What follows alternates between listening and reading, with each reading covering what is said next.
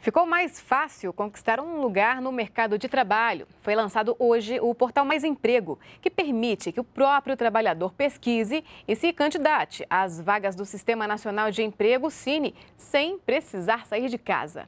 O cidadão pode enviar o seu currículo diretamente para o empregador e marcar a entrevista.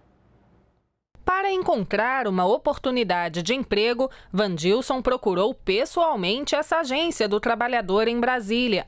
Há mais de um ano, sem carteira assinada, ele vive de trabalhos temporários como vigilante, mas agora está em busca de uma vaga formal no mercado, mesmo em outra área. Já trabalhei em hotéis, já trabalhei em restaurante, né?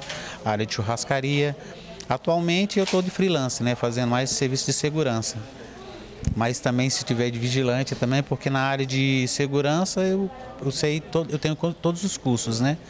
Mas não é fácil. As filas e esse tempo de espera de quem procura um emprego nas agências de atendimento de todo o país estão com os dias contados. O Ministério do Trabalho lançou um novo sistema na internet que permite que o candidato concorra a uma vaga do Cine, o Sistema Nacional de Emprego, sem precisar sair de casa.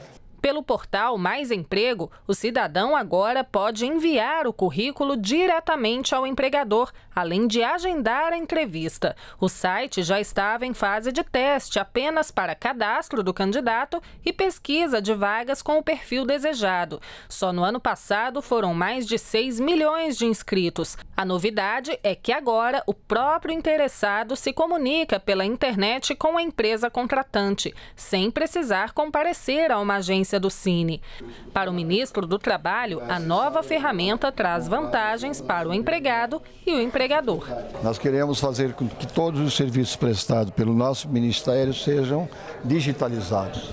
A partir já de janeiro, a maioria absoluta deles estão já disponíveis nesse método e nós lançaremos até mais até o final do ano vários programas que vão culminar com a transparência total do Ministério, com isso colaborar também para facilitar a contratação dos trabalhadores, facilitar a vida dos empregadores e outras informações que os trabalhadores vão ter eh, disponibilizados nesse portal.